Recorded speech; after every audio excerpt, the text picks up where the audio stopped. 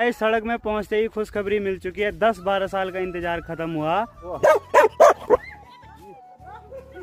ऐसे नज़ारे आपको पहाड़ों में ही देखने को मिलते हैं। मस्त खेत खलियान बस गाइस ये हमारे गाँव में एक ऐसे भाई हैं जो बिल्कुल भी नहीं देखते हैं बचपन से। लेकिन अपने सेल्फ एक्सपीरियंस से चलते हैं पूरे रास्ते और पानी भी लाते हैं हेलो दोस्तों, गुड मॉर्निंग, राधे राधे, सुप्रभात। शुरू करते हैं आज का दिन एक नए ब्लॉग के साथ। सबसे पहले तो स्वागत है आपका उत्तराखंड की हसीन वादियों में। मेरा नाम है अमित नेगी मेरे गाँव का नाम है तेला, जो कि रुद्रप्रयाग डिस्ट्रिक्ट में पड़ता है। बागी देखो, आज से हमारे घर में दो दो मेहमान आ गए हैं। जैकी इसका नाम है टाइटन, और इसका नाम है, यार ये जैकी का छोटा भाई है तो इसका नाम क्या रखूँ?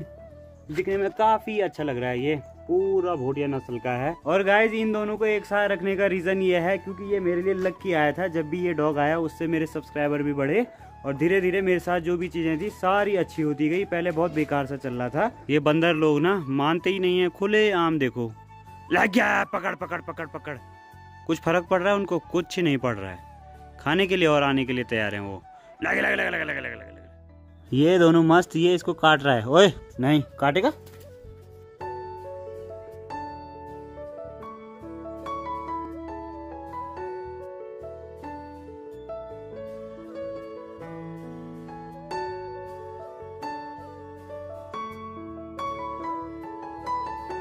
गाइस मम्मी घास के लिए जा रखी है और साक्षी कॉलेज जा रखी है। बाकी घर का काम करना मेरी ज़िम्मेदारी है और साथ में पत्थर भी सारने हैं मेरे को।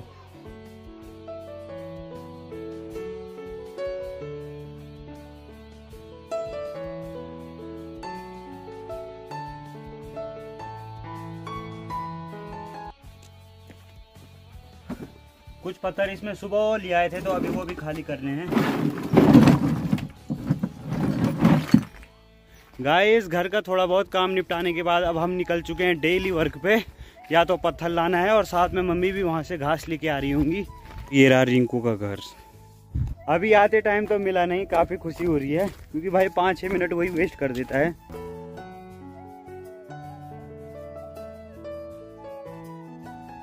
ऐसे नज़ारे आपको पहाड़ों में ही देखने को मिलते हैं। मस्त खेत खलियान और उधर मम्मी आ रही हैं।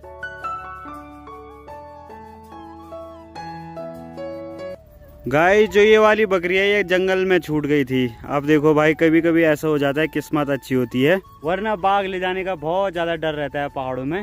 और ये देखो भाई, चाची जी का भाड़ा कितना बड़ा है, इतनी दूर से लाना पड़ता है।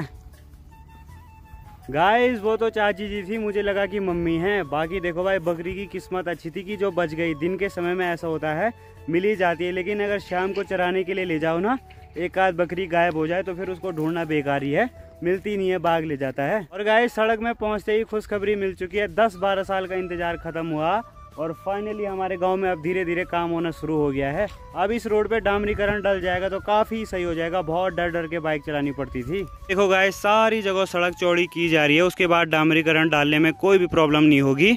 और ये पूरा खेत वहाँ से लेकर हमारा यहाँ तक है। और अब ये पत्थर भी हमें जल्दी जल्दी ऊपर ले जाने पड़ेंगे। आज तो मैं ज़्यादा वीडियो में दिखा नहीं पाऊँगा क्योंकि वीडियो बनाता रहूँगा तो टाइम बहुत ज़्यादा वेस्ट होगा। क्योंकि अगर ये पत्थर समय पे नहीं ले जाए गए तो सीधे जेसीबी वाला नीचे डाल देगा इनको। हाँ बस बस आराम से। बस गाइस ये हमारे गाँव में एक ऐसे भाई हैं जो बिल्कुल भी नहीं देखते हैं बचपन से ले, लेकिन अपने सेल्फ एक्सपीरियंस से चलते हैं पूरे रास्ते और पानी भी लाते हैं इस पे। दिसंबर। आ, यार मंगसीर। ये एक महीने बाद। तारीख तो नहीं पता। इस भाई की एज लगभग तीस साल हो चुकी है। सारा अपने एक्सपीरियंस से ही चलना पड़ता है। पूरा जो रास्ता है ना बिल्कुल ब्लाइंड है मतलब बिल्कुल भी नहीं दिखाई देता है।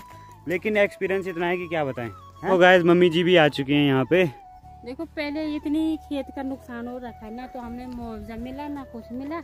हाँ। और फिर और भी खोद रहे ऊपर ऊपर का। सारा पत्थर देखना कितने सारे पत्थर है। ये पत्थर हम कितने महँगे डलवा रहे हैं ऊपर नौ हज़ार रूपए चट्टा।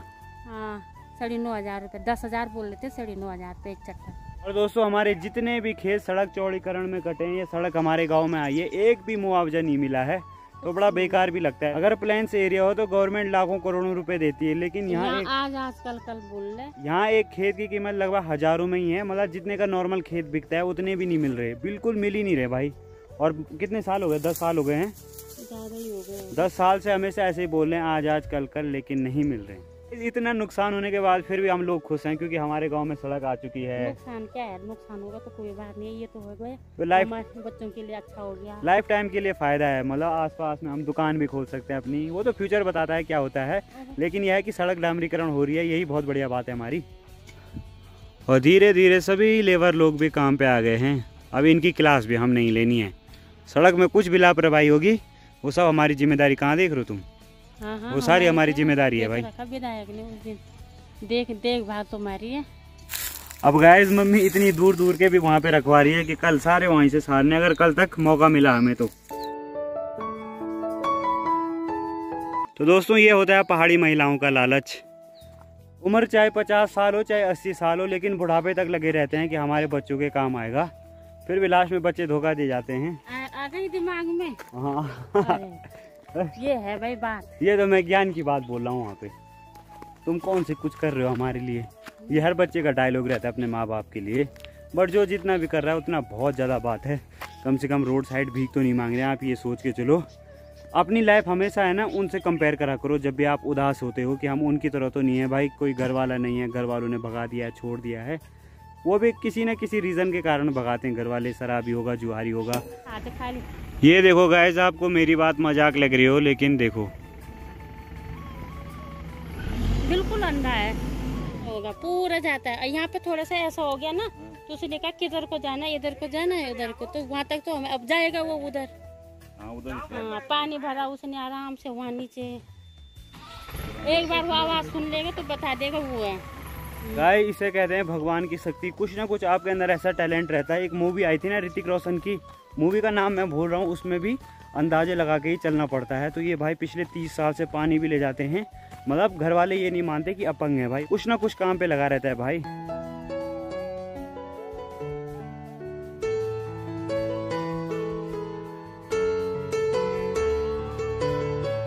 लोग भी इंतज़ार करेंगे रिंकू कब आएगा। आ गया।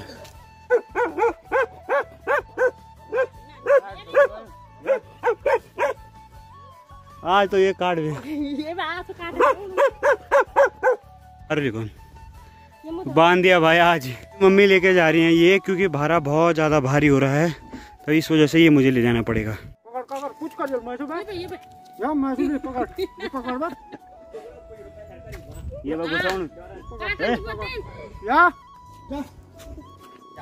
रिंकू काटिल चौथे गाइस हम दोनों की दोस्ती होना बहुत ज़्यादा मुश्किल है, मैं समझ गया। आज तक कभी उसको टच भी नहीं किया मैंने। पर वो बचपन से ही मेरे सर में हेलमेट देखता था ना, वो तब से मेरे से बहुत ज़्यादा गुस्सा है। मम्मी पे भी नहीं भोंकता उतना। पर जब से ये मेरे साथ रहते ना, इन पे भी भोंकने लग गया है।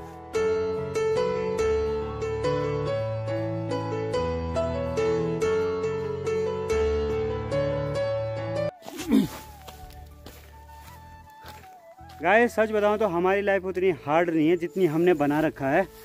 क्योंकि देखो भाई, इतना काम अगर हम बाहर कंपनियों में करते, चाहे मैं हो, चाहे मम्मी हो, क्योंकि महिलाएँ भी काम करती हैं बाहर तो उनको बहुत कुछ मिल जाता भाई। सैलरी ठीक ठाक मिल जाती। पौड़ी से भी काफ़ी लोग मेरी वीडियोस देखते हैं और वो खुद बताते हैं कि भाई, पौड़ी में बहुत ज़्यादा प्लान है।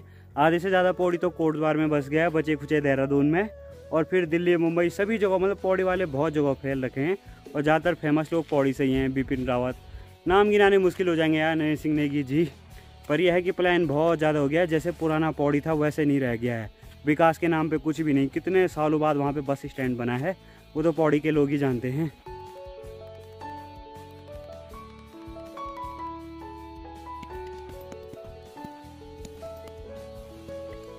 मस्त बैठ के रूढ़ी फोड़ रहा था। हम लोग जब भी खाली रहते हैं, कुछ ना कुछ काम करते रहते हैं, क्योंकि खाली दिमाग शैतान का घर। इसलिए अपने आप को जितना ज़्यादा हो सके बिज़ी रखो। बाकी एक चक्कर और लेने जाता हूँ।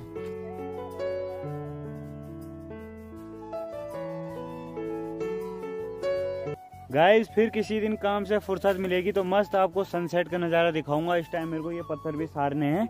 और सुबह से हमने लगभग चार पाँच चक्कर तो मार ही दिए होंगे।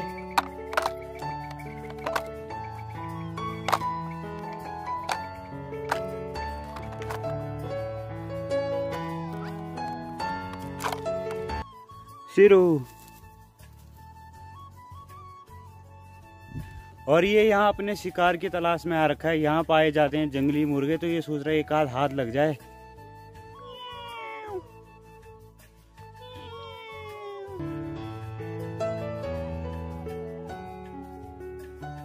गाइस अभी सनसेट भी हो ही गया है और धूप देखो, उस पहाड़ की ओर चली गई है।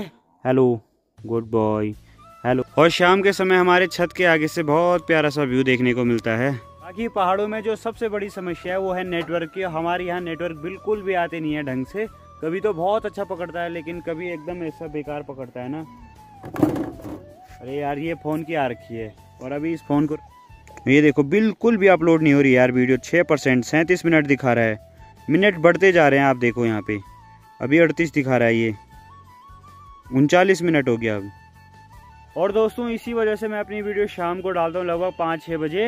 इस टाइम तक अपलोड हो जाती है मैं दिन तक बढ़िया से एडिट करके रख देता हूँ। रात को मेरा मन ही नहीं करता एडिटिंग का क्योंकि दिन भर काम करके बहुत ज़्यादा थकान हो जाती है। Hello hello hello hello good boy आज से गाँव में सड़क डामरीकरण का काम शुरू हो गया तो देखो भाई लोग भी अपने अपने काम पे लग गए हैं और मैं उनसे बहुत ज़्यादा दूर हूँ वो दिखाई भी नहीं दे रहे हैं। ये देखो इसकी जूम पावर बहुत अच्छी है। ये देखो यार आँखों से तो दिखाई भी नहीं दे रहे वो।